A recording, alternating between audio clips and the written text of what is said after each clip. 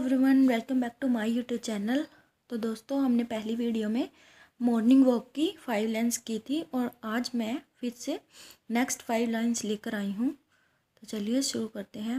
Number six क्या है?